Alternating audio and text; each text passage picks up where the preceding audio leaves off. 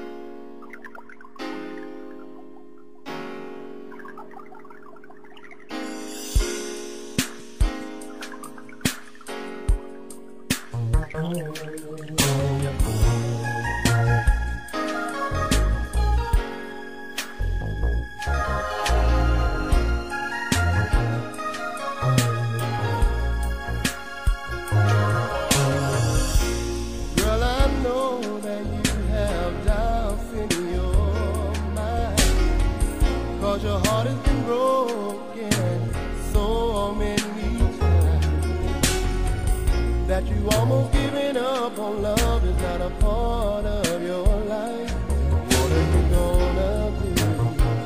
Oh yeah. And I read.